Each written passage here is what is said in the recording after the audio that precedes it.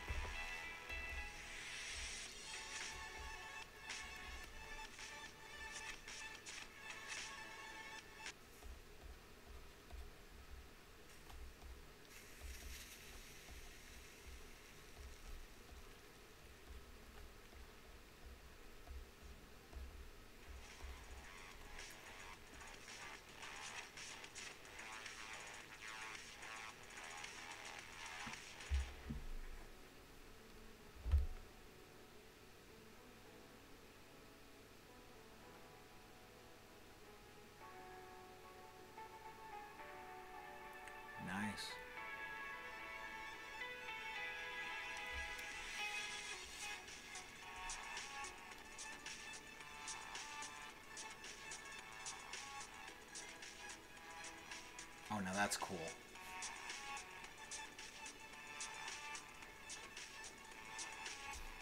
Right. So just as a brief review, these are some things we've seen before. Uh, polar molecules, oxygen side being negative, hydrogen side being positive of water, can interact with ionic compounds, and that's how you know ionic compounds dissolve into water. The attraction between the uh, positive end of water and the negative ions, and the negative end of water and the positive ions, allows the ions to be pulled away from each other, and they can be free floating in water and then mobile, and you get your conductivity. You, but you know, there's nothing to be said that this shouldn't work the other way around. You know, there's a lot of water when you dissolve salt in water, but what if there was relatively few water particles? Wouldn't there also be an attraction between chloride ions and sodium ions in a crystal too? And that's exactly what we saw in this video. Uh, hydrates are a subclass of ionic compounds that, in addition to existing as that plus minus plus minus crystal, there's a different way to put the crystal together that actually traps water in between the ions. Uh, this is a solid crystal. These uh, these tennis balls are meant to be your positive and negative ions, and then here you've got your waters all surrounded. Or here's another image that shows a, something similar in a different way. Uh, this is a solid crystal. So when we saw our original video, that pinkish purplish compound, that was the hydrated crystal. It was solid. It was a powder. Um, in the notation, we use a dot to separate the uh, the water from the ionic compound. And it does turn out that the amount of water trapped in the crystal is always in a whole number ratio in terms of particles in relation to the salt itself.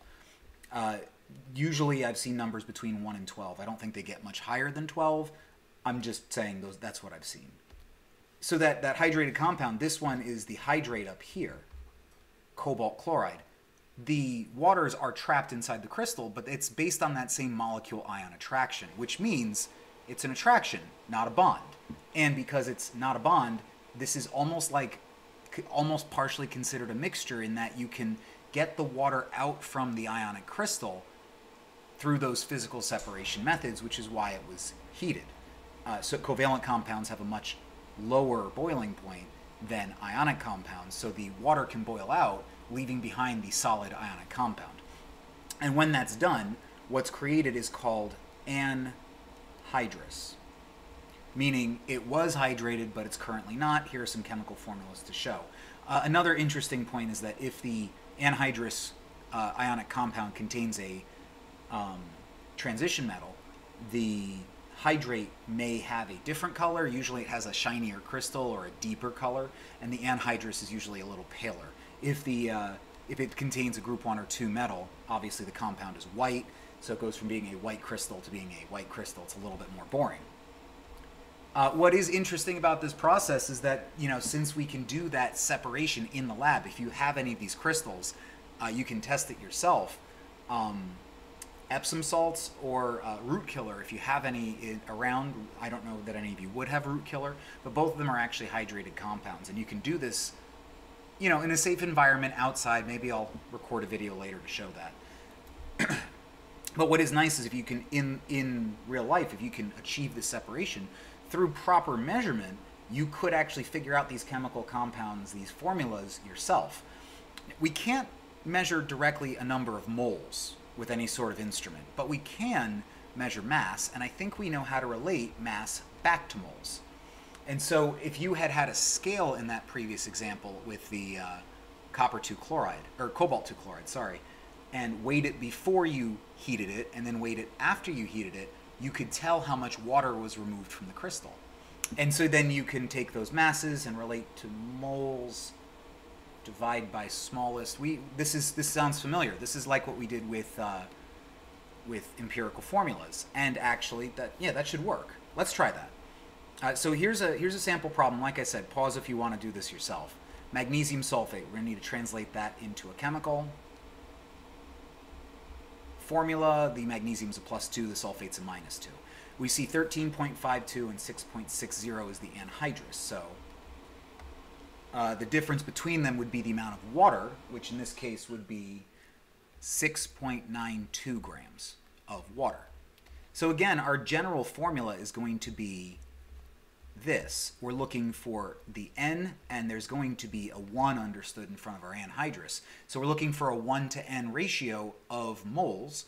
While we have the mass of the anhydrous and the mass of the water, we should convert both of those to moles the molar mass for magnesium sulfate, of course, you add up magnesium, uh, which is 24, plus sulfur is 32, plus oxygen is 16 times 4 is 64, and you get 120.4 grams per mole. And for the water, 0.384 moles. Uh, and so obviously the next step would be to normalize. We need to put whole numbers here. So we're going to divide both by 0.0548. And for the second one here, you're going to end up with 7. So our overall formula is MgSO4. Of course, you divide that by itself and you get 1.7 H2O. So that's your general procedure. If you want to try one, another one for yourself, here it is. Otherwise, I will start writing. Uh, sodium carbonate is Na2CO3 it says it loses. So in this case, they didn't tell you the anhydrous mass, so you had to figure that out. Again, we're going to convert to moles. I will say in most cases, since it's going to be a 1 to something ratio, that you should just divide by the mass, the uh, moles of the anhydrous. Yes, the moles of water is slightly lower here, but you know what? Even when we divide, doesn't matter which one we divide by, I'm pretty sure we're going to get into that range where you get a 1 to 1 ratio because this 0.0711 divided by 0.0714 is going to be close enough to 1. Our, our formula here would be this, where it's actually n here is 1. Um, this here, this is why it's super important to drag a couple of extra decimal points with you while you're doing the math, because you could easily see where rounding can make a big difference in doing your math. If that last digit changes, you get a little bit of variation, and then you might get a 2 where you're supposed to get a 3. Uh, and then finally, something to look at here is sometimes you'll get your, uh, your information presented to you in a composition by mass instead of a composition by, well, percent instead of by mass. And uh, just like we did before, you know, as long as we assume a 100 gram sample, this will just immediately become a gram measurement, which helps dramatically. So uh, we actually can jump straight to the mole conversion. This is 0.4201 moles of the anhydrous. And for the water,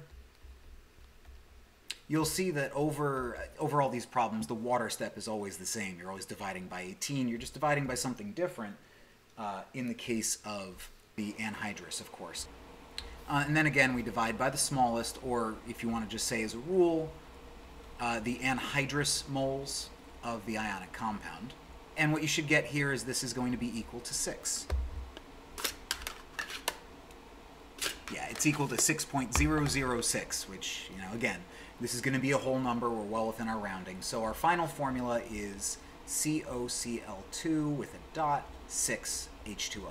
So that's that's how you address these. You can go from measured masses or percentages all the way back to your chemical formula of your hydrated compound. Just as a, a brief stopping point for naming, um, the, the name of these compounds, you, you actually name the number of waters with a prefix. So that's cobalt 2 chloride hexahydrate, sodium carbonate monohydrate, and calcium chloride dihydrate. The whole thing is called a hydrate as a whole, but they have specific names.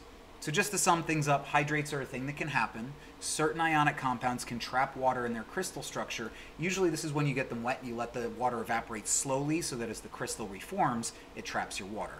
The trapped water can be heated out so you can carry out an experiment to drive off the water, compare the masses before and after, and figure out a whole number ratio of moles, much like you would with empirical formulas, to determine your chemical formula of your hydrate. Thanks for watching.